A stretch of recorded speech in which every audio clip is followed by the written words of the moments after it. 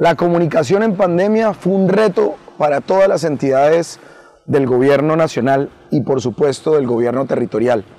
La información o la desinformación que tenía el COVID implicó asumir estrategias de comunicación constante, la creación de contenido, el desarrollo de programas institucionales. En el caso de la alcaldía de Cúcuta, dos programas semanales en donde se informaban de los avances en el COVID.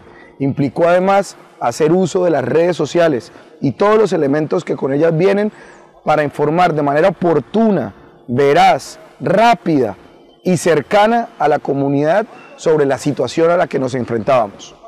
Además, la emergencia obligó a modificar la estrategia de comunicaciones de las entidades territoriales.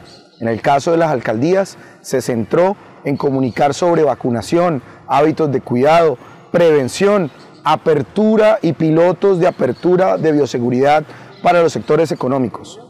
Las nuevas estrategias estaban destinadas, por supuesto, a llegar de manera masiva a través de las redes sociales. Nos obligó a innovar como entes territoriales para llegar directamente al ciudadano.